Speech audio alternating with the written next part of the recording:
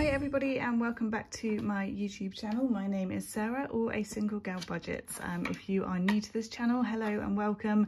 And um, if you've been here before and you've come back to watch some more, thank you so much. Um, in this video today, I am going to be sorting out my budget for February and just taking you through what that looks like and then doing a bit of cash stuffing. So uh, before we start, please do like, comment and subscribe and also hit the little notification bell as um, then you'll be notified of all the videos that I um, am posting. So let's have a look at the budget. The budget is on my iPad here, so I'll just pop you down so you can see. And I've done this in advance because otherwise it would take forever. Um, it's already going to take a while with me chatting. So if we zoom in, my main goals this month are to stay under budget, to put £200 into the 2k challenge, and to try and get my TikTok back. It's now been two weeks. It's really stressing me out. Um, mostly because that does give me some form of income as well, which now I don't have. Anyway, no more moaning, positive thoughts only. Um, in terms of my budget this month, so all the fixed stuff is over here and these are all my usual bills, pretty much the same every month. Although I did have a question, because um, I always forget which month it is. Um, council tax is, oh god, that's not a straight line. is it February that we don't pay council tax? If so, I've got some more money to play with and maybe I'll do like a little bonus cash stuffing, but um, I always forget which month. Anyway, so that's all my fixed stuff there. Um, I annual bills basically a savings pot so that I can pay for things like my car insurance all in one go. Um, all of like pet stuff, mortgage, water, gas, electric, all of those great things and that comes to £1,353.25. Um, next up in the budget I've got my savings. So um, 200 goes automatically into an emergency fund. 150, it was 100, but I've upped it this month because um, national insurance went down. Um, by 2% or something like that. I can't remember. Um, but anyway, so I ended up with a bit more leftover money. So I'm upping that to 150, which is actually the maximum that I'm allowed to put into that account because um, it's quite a high interest account and that's the rules of it. So yeah, really exciting. And finally decided what it's going to be for. It's going to be for holidays. Um, I've got two uh, hen dos in March and I've got holiday booked in August to go to Edinburgh Fringe Festival. Um, and there might be another weekend or something like that. So yeah, hopefully that will help. Um, 200 sinking funds and it's coloured in green because I will need to get that out in cash and um, 200 to um, savings challenges. In terms of my cash envelopes, I've got my food, social and miscellaneous, you know, £10 a week, £30 a week, £50 a week, standard, it's a four week month. Very, yeah, exciting, again green because that's cash. And then the rest of my variable expenses, um, got 100 for travel, although that might be a mistake because I'm driving to London uh, and back, so we'll see how that goes. Um, £100 for the cats food and litter and treats, £100 for self-care, um, although I have just had my nails done, so they hopefully might last, we'll see. Um, dance, I don't think I need all of this, but I just always budget that figure because it's easier to work out. Um, I've budgeted in for the cleaner. I didn't end up getting in touch with them or doing anything in January, but it's still on my mind that it's something that would make my life a lot easier. Um, so I've put it in the budget. And then the buffer is basically anything that's left to take it down to a zero-based budget, and that is used on things like, what did I get last month? I had a takeaway I had to buy some filters for my extractor fan. Um, just random stuff that kind of doesn't really have a home. So yeah, so that's the budget. Um, what we're going to do next is, um, in terms of the cash, I've actually managed to work out that I've got this 360 cash in these binders that are here behind me. Um, so I'm going to find that 360 in cash, put the placeholders in um, where they need to go, and then we can do some cash stuffing. So I think I'm going to need a couple of these. I need the two 100s and I need, I have any more in here? I do. I want that one.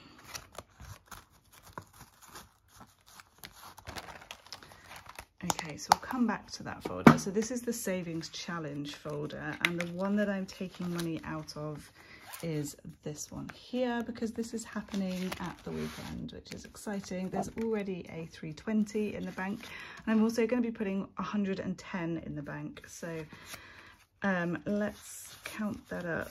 So around stray 20 here. Um,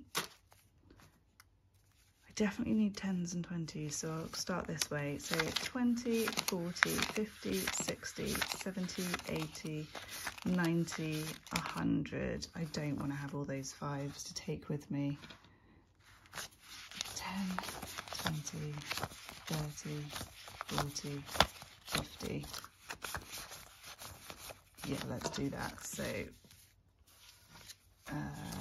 20, 30, 40, 50, 100, I said 110 didn't I? So 10. Right, let's just count that again because uh, I'm a nightmare. 20, 30, 40, 50, 60, 70, 80, 90, 100, 110. Lovely goes the right way around. So that will be going, um, let's put it there for now.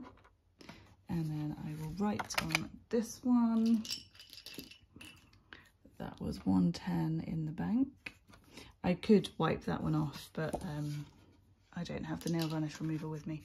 So yeah, so that's in the bank. And then this is the cash that I'll take with me. So 10, 20, 30, 40, 50, 60 and 70, which should be perfect for like meal out on a Saturday night. So pop that back in there. That's it from this folder. And then um, these uh, next two are coming from my sinking funds. So first up is car. There should be 100 in here. 20, 40, 60, 70, 80, 90, 100. Perfect. So that can go in here. And then the other one should be home. 20, 40, 60, 80, 90, 100. Just as I had worked out on the spreadsheet, so thank goodness for that. okay, so that is 310. And then I also have in here, in my back to bank, um, I've got 50 um, and that was from a couple of things that I paid for on card when it should have been in cash. So let's separate out the denominations here and then we should have 360 to play with, which is what I need for my cash envelopes for the month. Okay, let's get this thing.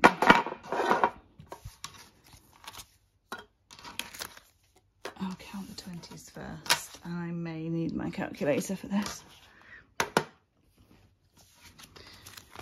Right, one, two, three, four, 100, 20, 40, 60, 80, 200.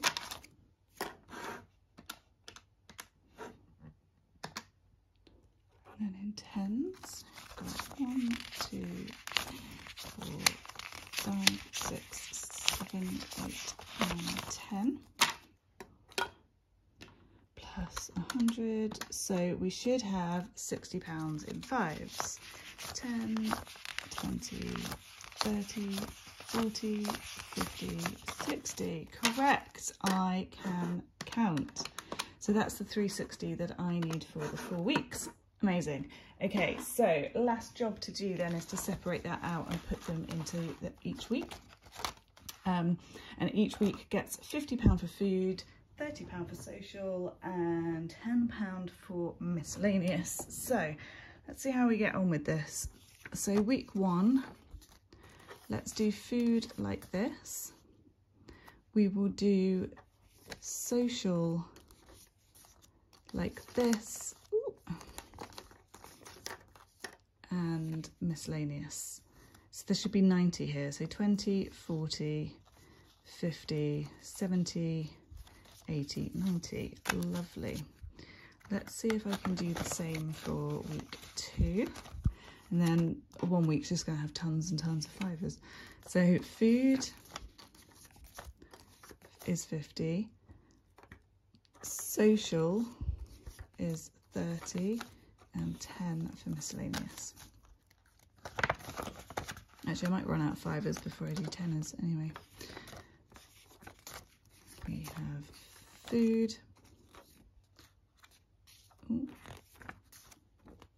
Oh, okay, we'll leave those. So food, social, two, three, and 10 for miscellaneous. So that should now be 90, 20, 40, 45, 50, 60, 70, 80, 90. Lovely. So there should now just be 90 pounds left. So 20, 50, 60, 70, 80, 90. I can count. Fabulous. So that is all in there, ready for um, February. You've seen the budget and everything. So yeah, that's it from me. Thank you so much for getting to the end of the video. I really appreciate it. As I said at the beginning, if you could like, comment and subscribe and tell your friends about me. There's such a wonderful budgeting community on here and I just can't wait to get to know you all and really dive in. Now that my old uh, TikTok has disappeared, I can put more time and effort into this. So yeah, thanks for coming along with me on my journey. Let me know in the comments what you think about my February budget. Would you do anything differently? Um, and I will catch up with you all soon. Take care. Bye.